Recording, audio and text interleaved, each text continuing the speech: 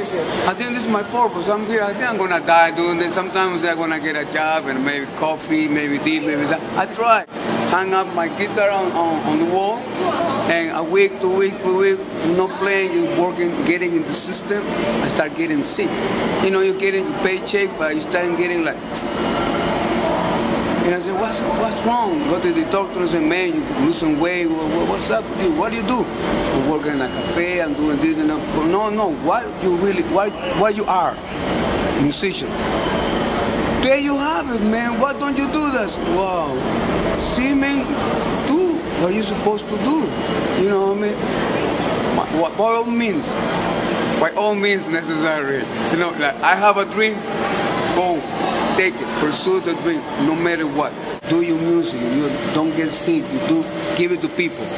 People that really need it. People don't need it, they're gonna find some all, all kinds of drugs, you know, instant gratification. But people who need it, sometimes you go like, thank you. You go, what? Thank me? Once I was playing here, a guy was about to commit suicide. He heard me. He heard me come he crying. to save my life. I was listening to you and made me reflect. It made me feel like life is still beautiful. I still have a choice. I still have a chance. Said, thank you. He was like, no, man, no. Don't do it. I'm here, man, because it's my pro- my purpose. You know, this this is what I do. So, you know, I mean, keep on living. It's good for you. And I put it over here. I put it over here. It's a big deal. And I'm like, wow. You know, I got this here in my heart. I love that, Duffy. You You are my inspiration.